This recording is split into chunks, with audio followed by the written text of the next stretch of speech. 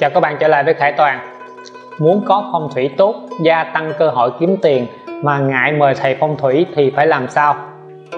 Khải Toàn xin thưa Không gian sống sạch sẽ, ánh sáng đủ không bị tối Không khí trong lành, không có mùi Nhà có nhiều tiếng cười, đạt được những điều này là bạn đã có phong thủy tốt Tu tập giúp con người giảm tạp khí, bồi dưỡng phước huệ phong thủy giúp gia tăng cơ hội kiếm tiền. Có phước trước thì tiền của sẽ đến sau. Khải Toàn xin hướng dẫn, bài trí phong thủy cho năm 2022 và một phần năm 2023 theo quẻ của cung phi tinh. Dùng những đồ vật đơn giản nhưng hiệu quả ngoài mong đợi. Hướng dẫn hướng xuất hành, hướng tốt khi ngồi làm việc, quyết định những việc quan trọng. Hướng đặt tủ tiền, hướng mỗi ngày bước xuống giường ở cuối video có hướng dẫn cách đo tọa độ và phân cung sơ đồ nhà, mời các bạn xem thêm. Mục đích của phong thủy giúp con người hòa hợp cùng thiên nhiên, mang đến sự thuận hòa nhất có thể. Phong thủy có nhiều trường phái, phong thủy địa lý phổ biến là phái loan đầu, bàn về hình thể, mắt thấy, tai nghe, mũi ngửi được. Phong thủy lý khí bàn về sự chuyển động của trái đất cho ra từ trường khác nhau ở mỗi hướng theo năm, theo tháng và theo cả ngày giờ. Huyền không phi tinh là luận về khí. Video này Khải Toàn sẽ hướng dẫn bài trí đơn giản theo phi tinh lưu niên, tức sự dịch chuyển của phi tinh mỗi năm, kết hợp với loan đầu, bài trí đồ vật phù hợp nhằm hóa giải hung họa, đón các lợi tăng tài lộc. Các bạn có thể xem thêm video phong thủy lý khí là gì trong kênh của Khải Toàn. Pháp Sư Tịnh không có nói, người phước ở đất phước đất phước người phước ở. Phước ở đâu mà có? Nói theo dân gian, trồng hạt gì sẽ có quả ấy. Cần thời gian chăm sóc cho cây, đến ngày sẽ có quả. Nếu tâm của bạn thiện, bạn là người có tấm lòng Bồ Tát, tự khắc sau một hai năm, nơi bạn sống sẽ trở thành mảnh đất tốt. Làm ăn phát tài, gia đạo thuận hòa thầy phong thủy có đến cũng giúp bạn thêm vài phần nhỏ. Quan trọng vẫn là ở nghiệp lực của bạn.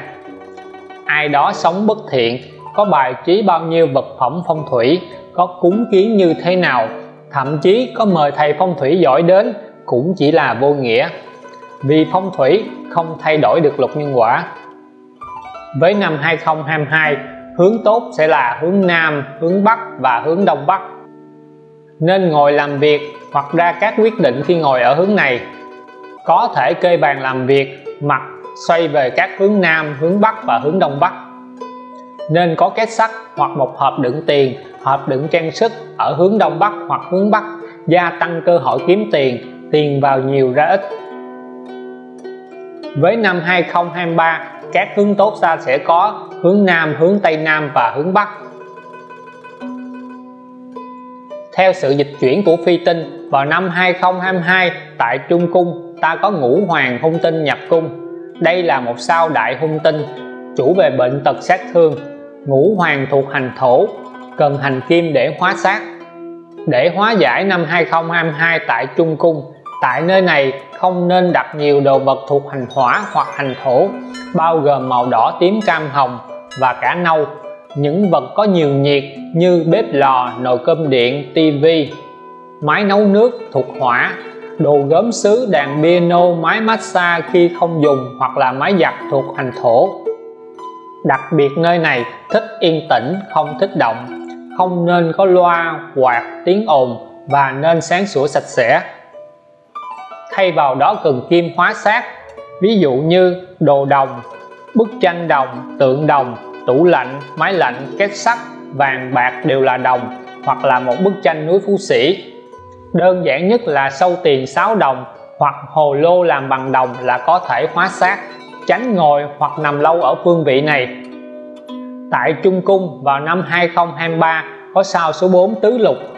Sao tứ lục thuộc hành mộc, nhập tù, nơi này không nên có nhiều mộc, nên có ít hỏa, 2022 và 2023 hướng Nam đều có sao tốt nhập cung 2022 có sao số 9 cụ tử thuộc hành hỏa nhập cung, sao các tinh, tức là sao tốt, chủ về nhân duyên, chuyện vui, những điềm lành điều các lợi vui vẻ trong cuộc sống.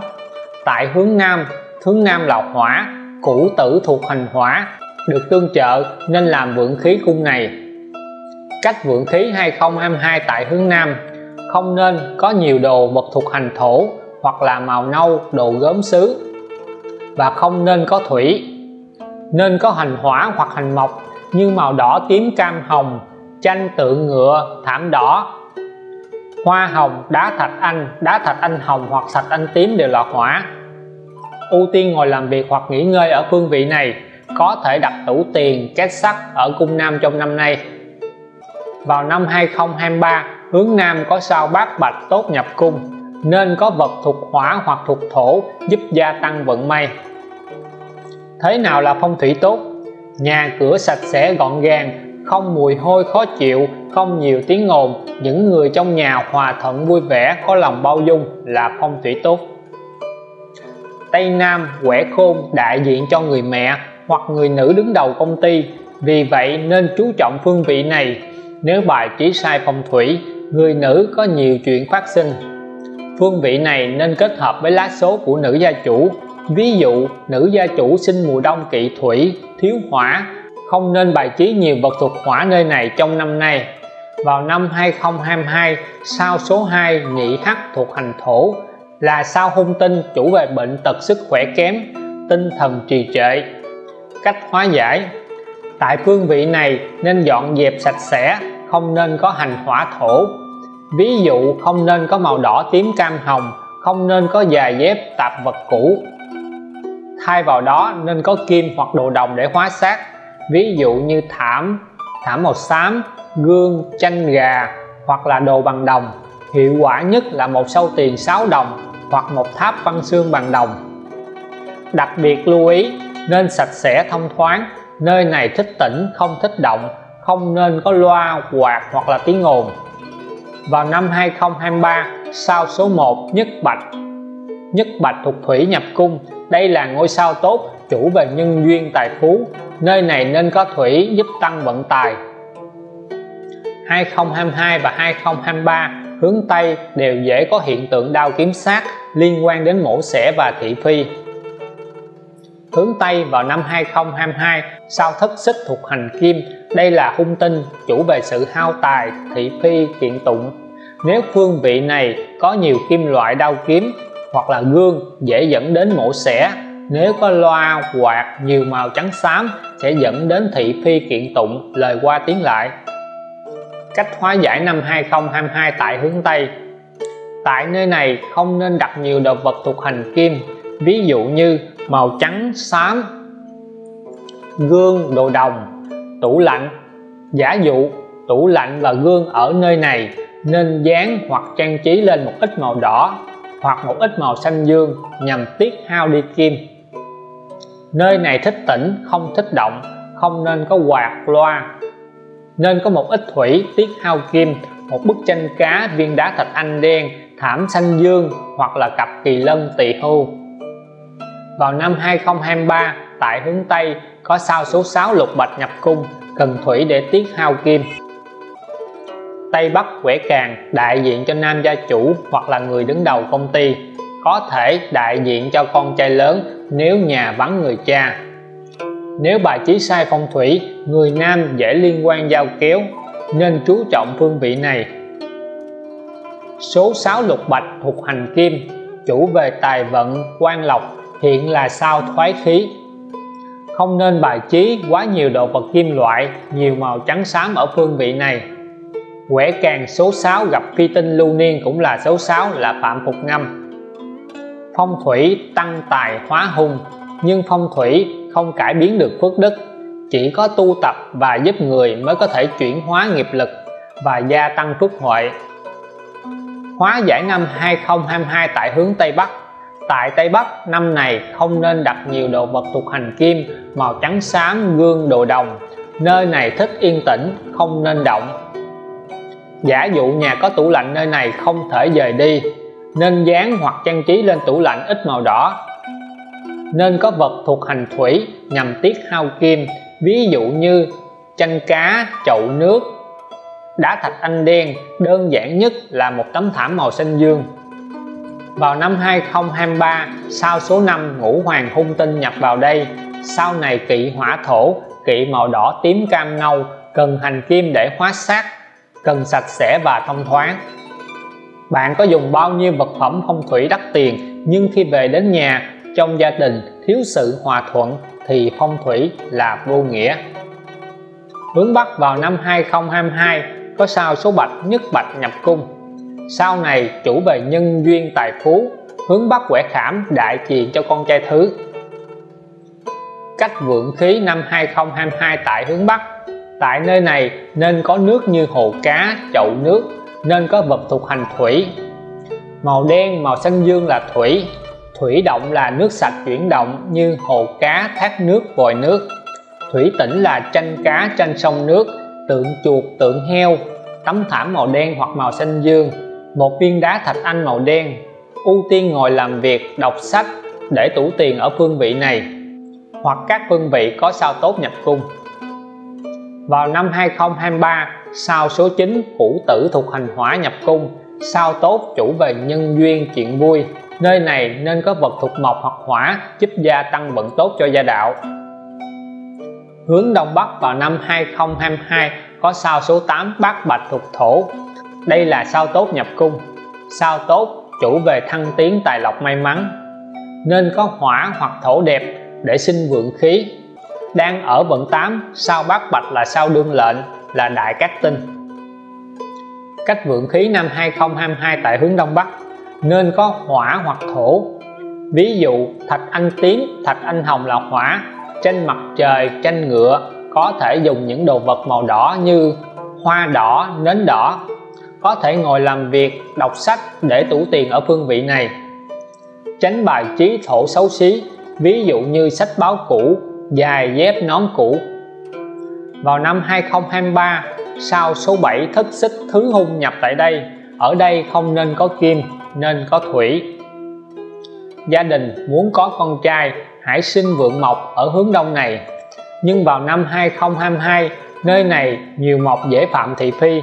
Vì thế, nếu dùng mộc, phải dùng thêm hỏa.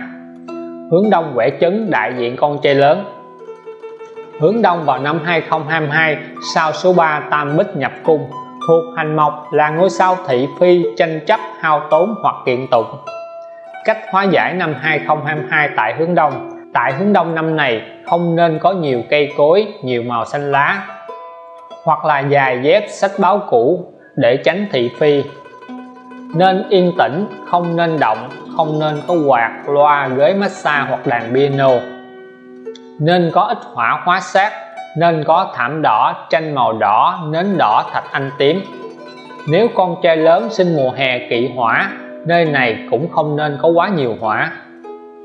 Vào năm 2023 sao số 2 nhị hắc thuộc hành thổ là ngôi sao hung tinh chủ về bệnh tật sức khỏe kém.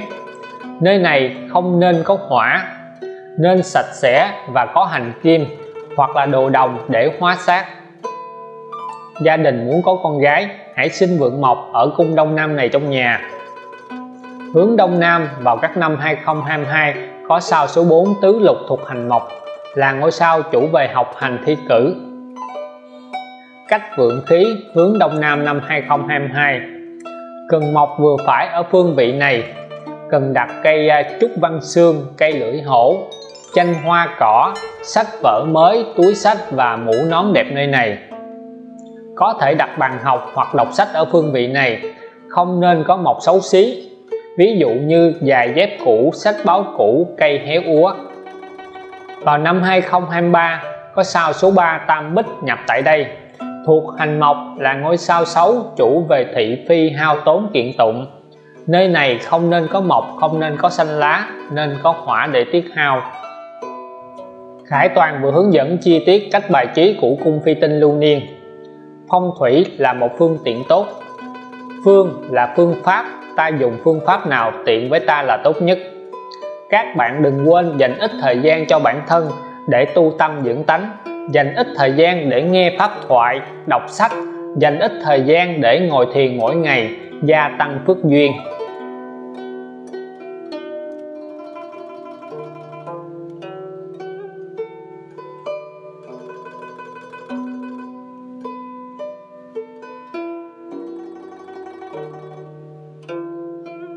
Lấy thước đo chiều ngang và chiều dài của ngôi nhà. Lấy thước đo diện tích của các phòng nếu có thể. Vẽ lên tờ giấy A4 theo hai hình ví dụ này. Đây là nhà phố. Đây là nhà căn hộ. Ví dụ nhà căn hộ ngang 8.5 dài 10m nhà phố ngang 3m5 dài 6.8m vẽ được diện tích ngôi nhà, ta nên chia nhà thành 9 đô lấy chiều ngang chia 3 và chiều dài chia 3 ra chính ô. Trong hai hình minh họa này, ô ở giữa được gọi là ô chung cung.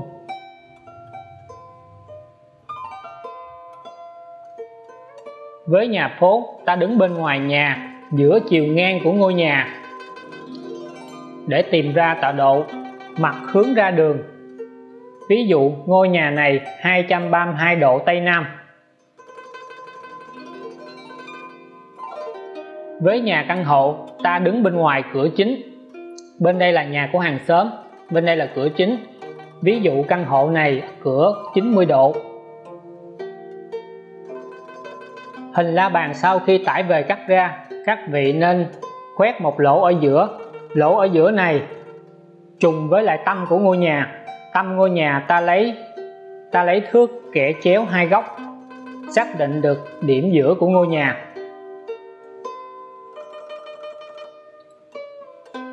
Đặt hình la bàn lên bản vẽ nhà, xoay tọa độ khớp với hướng nhà. Trong trường hợp này 232 độ sẽ nghe đây. Ta đánh dấu 8 điểm, phân cung bởi 8 hướng.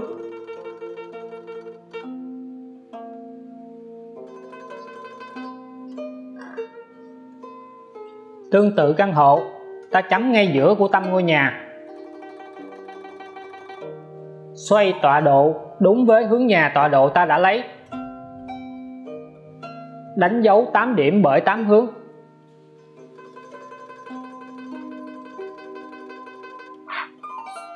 Ta đã phân cung được ngôi nhà, ô ở giữa được gọi là chung cung.